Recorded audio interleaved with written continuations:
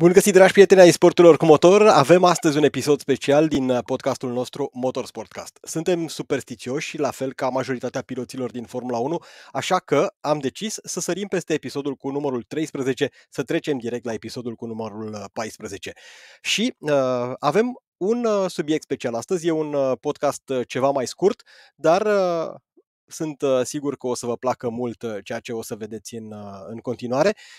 Cu toții știți, în luna septembrie la București au ajuns cei de la Oracle Red Bull Racing cu Patrick Frisacher, pilotul lor. Au făcut un showrun în piața Constituției. Alături de Patrick Frisacher au fost și Red Bull Drift Brothers și Aras Ghibieza, a fost și Simone Tempestini acolo. Deci a fost o zi plină de surprize pusă la cale de cei de la Oracle Red Bull Racing. Ei bine, asta nu a fost tot. Au filmat un clip senzațional pe Transalpina, drumul aflat la cea mai mare altitudine din România, undeva la 2145 de, de metri. Uh, cam uh, cu vreo 100 de metri altitudinea mai mică decât cea la care se desfășoară Marele Premiu de Formula 1 al uh, Mexicului. Patrick Frisacher, primul pilot din Academia Red Bull Junior, a mers la Minardi 11 curse, el uh, este cel care pilotează cel mai frecvent monopostul RB7, cel cu care Sebastian Vettel a câștigat în 2011 uh, titlul mondial. Red Bull a câștigat atunci uh, și titlul mondial a constructori. E unul dintre cele mai de succes monoposturi din istoria Formulei 1. Desigur, dacă nu luăm în calcul și sezonul 2022 în care Max Verstappen și cei de la Red Bull Racing și-au asigurat ambele titluri.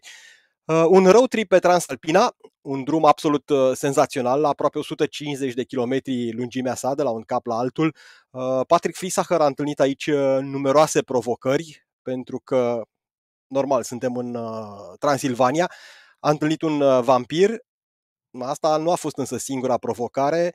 S-a întâlnit cu un cioban care nu l-a lăsat să-l mângâie pe Vasilică, dar uh, i-a dat un smoc de lână ca să-i uh, poarte noroc și uh, după ce a scăpat cu bine de o nuntă unde a trebuit să dea ca, ca dar, pentru că așa, așa se obișnuiește la noi, a făcut niște cerculețe, ei bine, s-a luat la întrecere cu Toma Coconea. Despre Toma nu sunt uh, Uh, lucruri uh, foarte multe de spus decât este, că este un atlet senzațional și că va participa și în 2023 uh, la cea mai dură competiție de aventură Red Bull X Alps. E unul dintre atleții care, cel puțin pe mine, mă, mă inspiră prin uh, tot ceea ce face, iar uh, road trip lui Patrick Frisacher pe Transalpina s-a, s-a încheiat uh, fix cu un duel cu Toma Coconea. Pentru Toma Coconea, Transalpina e practic uh, terenul de joacă, așa că s-a simțit în, uh, în elementul său. A fost un uh, road trip cu adevărat spectaculos cei de la Red Bull ne-au obișnuit uh, cu foarte multe road tripuri în întreaga lume. Au străbătut America de la un cap la altul, uh, s-au plimbat prin uh, țările de jos, au fost în Palermo, au descoperit cele mai frumoase castele din Cehia și Slovacia, au fost, cred că, în toate colțurile lumii, au ajuns din Europa în Asia, traversând podul Bosfor. A fost au avut uh, foarte multe road trip și mă bucur că au uh, inclus uh, pe lista lor și Transalpina, unul dintre cele mai spectaculoase drumuri, nu doar din România, ci, ci și din lume.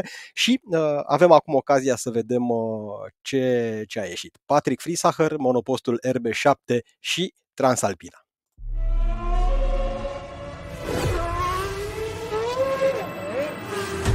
What a beautiful day for driving. Patrick, today's track is the Transalpina. It's the highest road in Romania. We're going to get you to Bucharest in no time. Copy that. Give me full power. You won't need it. The drive's quite scenic. Just enjoy it. Will do.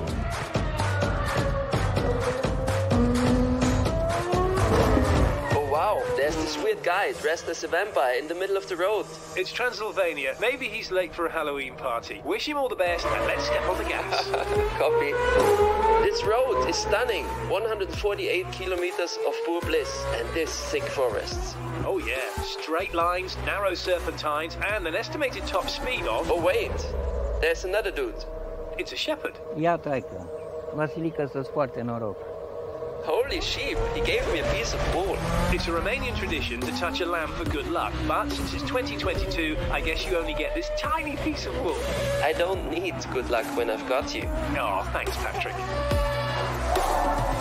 What now? I think there's a wedding happening in the middle of the road. They're spinning in a hora. I think you should show them how it's done. You don't have to tell me twice. Absolutely fantastic, mate. Donut in just eight and a half meters. That's quite the wedding gift. Thanks. Let's move on.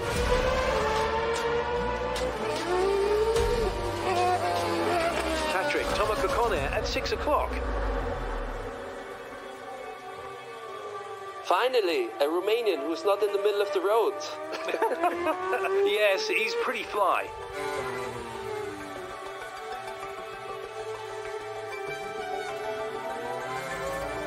Box, box, box, box, Patrick. Copy. Fun fact, did you know that your tyres are manufactured here in Romania? No, that's cool. Look, it's Aras Gibieza. Follow him and let's get you to Bucharest. Copy that. Let's roll.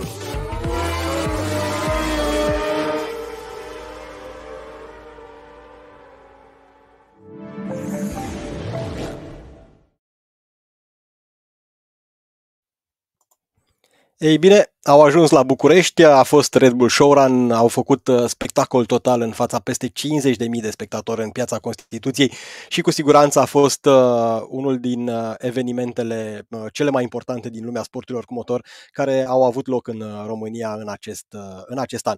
Patrick Frisacher și Transalpina, o poveste absolut uh, senzațională din uh, lumea Formulei 1, uh, un clip uh, spectaculos uh, ca toate uh, cele în care, pe, în care am văzut uh, pe cei de la Red Bull mergând în road tripuri în uh, diverse colțuri ale lumii.